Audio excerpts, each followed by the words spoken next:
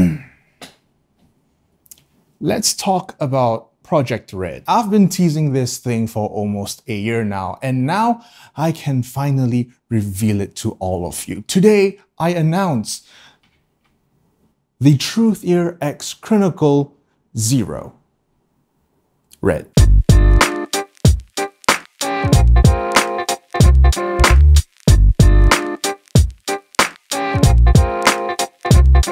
As per usual, let me just talk about disclaimers. This is not your first rodeo. This is my product. I make a profit out of every single sale. So therefore, I will not be reviewing, I will not be ranking, or even mentioning it in any of my other reviews. And now I shall be fielding questions. Anyone? Ah, yes, you?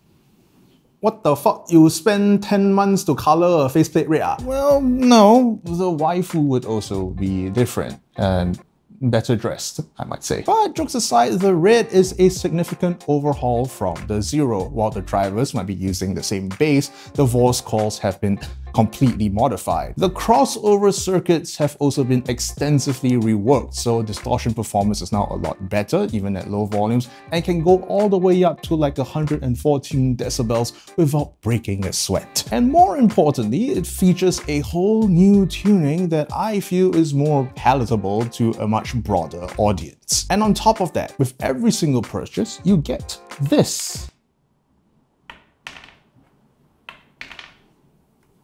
An impedance adapter that results in a 3 decibel increase in bass as well as a little bit extra lower mid-range warmth. Unfortunately, with all of this R&D and changes, the price of the Red would unfortunately have to be significantly increased relative to the Zero. When I tease Project Red, I see some of you guessing that this would probably be $100, $150. I even see some of you thinking that this would be the next $200 blessing killer. So now I shall finally put all the rumors to rest and announce that the Truthear Zero Red Edition will be retailing at $5 more. 54.99 USD retail. Beat that. Now all of that is just the simple, quick laydown of everything, but there is still so much more that I would like to explain. But before I go deeper into the red, I first have to talk about the original Zero and subsequently the Harman in-ear target. So if you would allow me, let me go into the nerd shit. Let's first put a quick recap on the original Zero. The original Zero was created because of two big concepts. First of all was the subwoofer multi-DD concept. I wanted it a reality and it finally was. The second, of course, would be filling a hole in the sub $100 market with a Harman tuning done passively. The red, just like the original, has two dynamic drivers, one of which is crossed over like a subwoofer. The crossover point is at roughly 160 to about 180 Hertz, creating that really, really nice 200 Hertz bass rise. So from that perspective, the red is not that much different from the zero. Of course, then we talk about the changes to the crossovers, which results in the red being a lot better in distortion performance. But again, it still uses the DD subwoofer concept because let's face it, it slaps. The second point comes down to tuning. As you guys know, the original Zero was tuned one-to-one -to, -one to the Harman in-ear target. But I don't like the Harman in-ear target. I may have explained this a lot in my other videos, but let me just do a quick recap again. The Harman target or should I say the Harman research was a statistical exercise asking a few people to adjust the bass and treble knobs and then seeing where the preferences lie between all of the respondents. Essentially, the Harman targets in all of its forms are preference targets, the average of what everyone likes. But the problem with that, of course, is that people think that it becomes a one true target situation where if it doesn't match the Harman target, it immediately is terrible. And then there's also the problems with the Harman in-ear target specifically where while the over-ear target was very rigorous and did like had 200 plus respondents, the Harman in-ear target on the other hand was from an internal panel of like 10 to 15 people from Harman themselves and resulted in, well, I'll say a very different response from the very well-researched over-ear target. But disregarding all of that nerd shit, they'll probably go more in depth with a future video. My final point is that I and a lot of people actually actually don't really like the Harman in-ear target. Of course, there are going to be people who are going to like Harman in-ear 2017 or 2019 because it has less of a tilt and a lot more bass.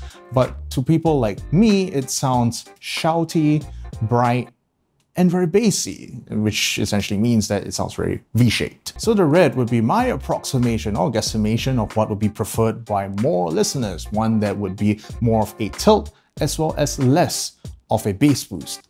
Yeah, uh, why less bass? Uh? I want more bass. That's actually a good question. Tilting actually shifts the perception of frequencies more towards the lower end. The problem with that is that if you use the bass boost that you had with no tilt onto the one with tilt, it sounds muddy. It sounds like it has too much bass. So what my philosophy for the red is to balance out all of these factors to make it sound not shouty, but at the same time still sounding clean as well as with enough bass punch so you don't lose out on that low end feeling. And yes, I know, I understand some of you probably say, yes, there's still too little bass. Well, that's why we have the impedance adapter. This thing would boost your bass by 3 decibels as well as increasing the lower mid-range warmth by a little bit, a tidbit bit. But in the box, you're just only gonna get 10 ohms. This is just a teaser, just to show you what this is capable of. I'm just tickling your balls with it. And I know the subsequent question is why, why 10 ohms? Why not 20? Why not 30? Well, the first big one is that I think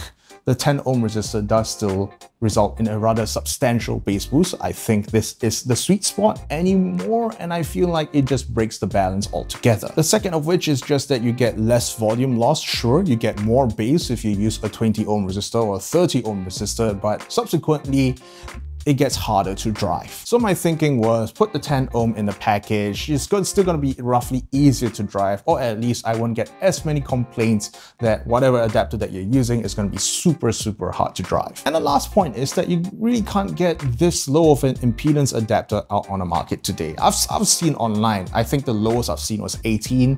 Most kind of the lowest is around 25. Then after that goes up to 50, 75, 100 ohms. But 10? Hard to find. Essentially 10 is a nice baseline, but if you want higher values, well, you absolutely have the choice to do so. Just go online, just buy whatever you want and use it. It's compatible, easy peasy. And yes, I know, I know the questions they're probably asking right now is how does all this work? It's magic. How, how does it work? Well, it's simple. Just changing impedance results in changes depending on how the impedance curve is for the particular IEM. And if all of that sounds like jargon, it's simple because this thing uses two different drivers, both of which have different impedances. It means that when you stack on something like this, it attenuates or softens each driver at a different rate. So when you plug something like this in, it means that the 7.8 full range driver gets dampened, softened at a higher rate relative to the 10mm subwoofer. Essentially, that just means bigger bass, bass boosted there you go. The red is also special for the fact that it is my first collab that is tuned on both the 711 coupler as well as the new Brüel & Kjær type 5128-4620. On the 711, I tried to make it as close to IEF neutral as possible as well as with roughly a 5 decibel bass boost. And on the 5128, the interesting thing is that it kind of matches up to about a negative 0.8 dB per octave tilt as well as again the aforementioned 5 dBs of bass boost. So regardless regardless of which measurement rig that you would like to test this on, it would still measure very, very well. All right, I will be fielding more questions. Yes, I see you, please. Yeah, uh, Crin, I already got the regular zero. I don't want to pay more money for different tuning. Uh. Well, a lot of things have changed and improved. For example, the entire circuitry got reworked and therefore has better distortion. But I know I've always been a proponent for you don't have to pay for tuning, which is why you could simply go onto my graph tool, just select the zero to the red, EQ it, and then you can have a rough approximation of how the red would sound with your own zero. So yeah, you don't have to buy a red if you already have a zero and are willing to EQ, yes. Yeah, but uh, I don't want to use EQ.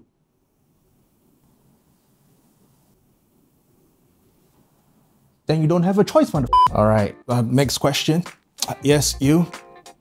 Why don't you use switches? Uh? That's actually a really good question. If you've ever used an IEM with switches, you realize that it gets rather inconvenient. You have to take them out, you have to use one of those thin like foam things, and then you have to readjust each channel every single time. It's, it's really inconvenient, it's not very easy. The second reason is that you're introducing a lot more failure points. With an impedance adapter, all you really have is that one single failure point, or maybe even two if you count the cable, but it's detachable. With switches, even if you're just using one switch, it's still one switch per IEM, so that's already two failure points, one extra. And if you're using more switches than that, well, congratulations, you've introduced even more failure. The third reason is the fact that it is inflexible. For example, with this, there is a 10 ohm adapter, but you could go with 20, 25, 50, 100, all the way up. There is no limit to how much you can actually add on. With a switch, you're kind of just limited to whatever the manufacturer hands you. So for example, if you have just two points on and off, that's it.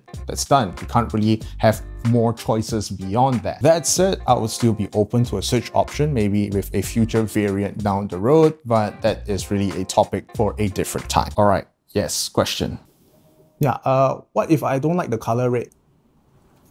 Then you go fuck yourself. No more questions. But of course, as per usual, don't take my word for it. I have sent as many review units as I can to a lot of reviewers, so whenever you can, just watch their reviews, their measurements, their data, etc, etc. I'm just thinking that I've just gone entirely full circle. I've started out by modifying other people's product, then I've made my own product, and now I am modifying my own product time is a circle. Just to reiterate again, the red doesn't make the original zero obsolete. From a different perspective, you could just see this as a variation of Harman, one that is of more of a tilt and less of a bass response. Whereas again, the original Zero will be less of a tilt and more of a bass response, one that is much more V-shaped. So if you like one or the other, and both of which are again variations of the same Harman-ish research, you're not wrong either way. It's just that simply the red is a lot closer to my own preferences. And, you know, if you're close to my own preferences,